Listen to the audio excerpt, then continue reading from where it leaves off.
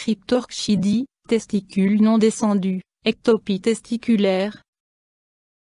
Définition En cas de cryptorchidie, un ou les deux testicules ne sont pas descendus dans les bourses. Normalement, au cours du développement de l'enfant dans le ventre maternel, les testicules se forment dans la cavité abdominale et descendent progressivement dans les bourses en empruntant le canal inguinal qui relie la cavité abdominale et les bourses. Une cryptorchidie survient chez environ 4 enfants nés à terme sur 100 et plus souvent chez les enfants prématurés. Durant la première année de vie, les testicules peuvent encore descendre spontanément dans les bourses. En fonction de la position du testicule, on distingue Cryptorchidie abdominale, forme rare, le testicule reste dans la cavité abdominale. Cryptorchidie inguinale, le testicule est fixé dans le canal inguinal et ne peut pas descendre aux bourses.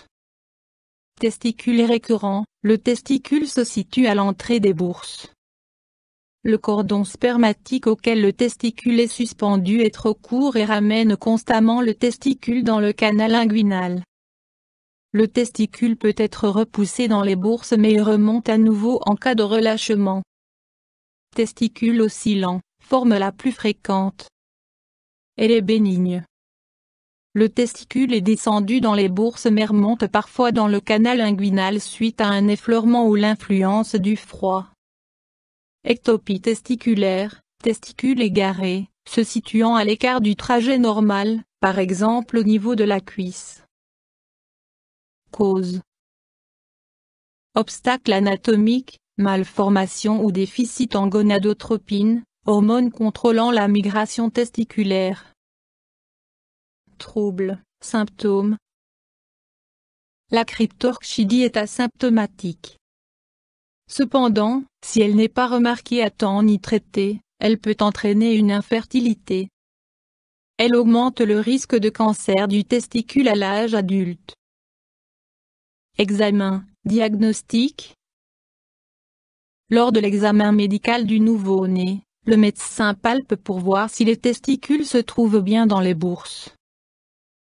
Pour diagnostiquer les différentes formes de cryptorchidie, le médecin utilise une technique spécifique de palpation, il effleure avec le bord de l'index d'une main le canal inguinal en direction des bourses et tente de palper le testicule avec l'autre main. Si le testicule n'est pas palpable, il est possible de le localiser par examen à ultrason ou par d'autres procédés d'imagerie médicale. Le cas échéant, une laparoscopie, endoscopie de la cavité abdominale, réalisée sous anesthésie générale permet de localiser le testicule. Un test de stimulation hormonale permet de distinguer une cryptorchidie bilatérale d'une absence totale de testicules, anorchidie. Option thérapeutique Si la cryptorchidie persiste après la première année de vie, la probabilité de descente spontanée est très faible. Pour cette raison, un traitement devrait être initié dès le début de la deuxième année de vie. Le traitement habituel réside dans une hormonothérapie, qui augmente le taux de testostérone, ce qui stimule la descente du testicule. Le traitement hormonal consiste d'abord en un spray nasal administré durant 4 semaines. En l'absence de réponse satisfaisante, le recours à une injection hebdomadaire est nécessaire. Plus le testicule est descendu en direction des bourses, plus le traitement hormonal est susceptible d'être efficace. En cas de testicule oscillant, l'hormonothérapie est efficace à 90%. En l'absence de descente du testicule, il faut procéder à une intervention chirurgicale, si possible avant la fin de la deuxième année de vie. Lors de cette intervention, le testicule est descendu dans les bourses via le canal inguinal. Pour éviter qu'il ne remonte, le testicule est fixé dans les bourses par une petite suture. Après l'intervention chirurgicale, il est nécessaire de contrôler la position du testicule à intervalles réguliers. En effet, le testicule remonte parfois dans le canal inguinal en raison d'un cordon spermatique trop court, qui remonte à nouveau le testicule dans le canal inguinal. Complications possibles. Pour se développer, le testicule, au sein duquel la production de sperme a lieu après la puberté, a besoin d'une température avoisinant les 32-37 degrés. C'est pour cette raison que les testicules se situent dans les bourses à l'extérieur du corps.